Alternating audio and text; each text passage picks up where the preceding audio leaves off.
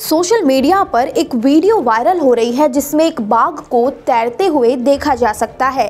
ये बाघ तैरकर समुंदर के इस पार से उस पार जाता दिखाई दे रहा है। वहीं पर कुछ दूरी पर कुछ लोग भी नाव पर मौजूद होते हैं। अगर ये बाघ एक बार पीछे मुड़कर देख लेता तो उन नाव पर सवार लोगों की जान भी जा सकती थी। इस वीडियो को ट्विटर हैंडल पर आईएफएस अफसर रमेश पांडे ने शेयर किया है। इस वीडियो को शेयर करते हुए उन्होंने इसके कैप्शन में लिखा बाघ बाघ नदी पार करते हुए एक युवा बाघ का यह दृश्य निसंदेह एक असामान्य था।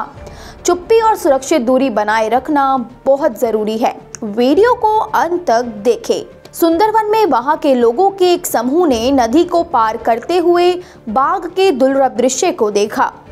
लड़कों के समूह ने उस दृश्य का वीडियो शेयर किया। क्लिप को भारतीय वन सेवा के अधिकारी रमेश पांडे ने भी एक्सेस किया। बाघ ने शानदार अंदाज में तैरकर नदी पार की। उस वक्त वहाँ मौजूद लोगों ने खूब शोर भी मचाया, जिसके लिए यूज़र्स उनकी खूब आलोचना कर रहे हैं। अब सोशल मीडिया पर ये वीडियो तेज़ी से वायरल हो रहा है। इस वीडियो को जब से शेयर किया गया है, लोग इस वीडियो पर तब से अलग अलग तरह की प्रतिक्रिया दे रहे हैं। साथ ही अपने अदर सोशल मीडिया अकाउंट पर भी खूब शेयर कर रहे हैं। इस वीडियो पर अब तक हज़ार से ज़्यादा लाइक्स भी आ चुके हैं। साथ ही सौ से ज़्यादा लोग इस वीडियो पर रीट्वीट भी कर चुके हैं। वायरल क्लिप में लड़कों का एक समूह जो एक नाव पर बैठा था, एक बाघ को कुछ दूरी पर एक नदी पार करता हुआ दिखाई दिया।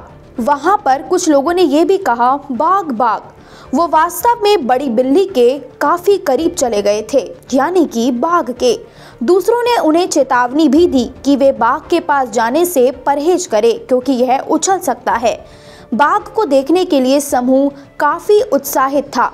इस वीडियो को देखने के बाद कई लोग हैरान हैं, क्योंकि नाव में बैठे लोगों की ये बाघ जान भी ले सकता था। ऐसी ही अपडेट्स। जानने के लिए हमारे आम आदमी पेज को फॉलो करें और साथ ही इस वीडियो को भी ज़्यादा से ज़्यादा शेयर करें।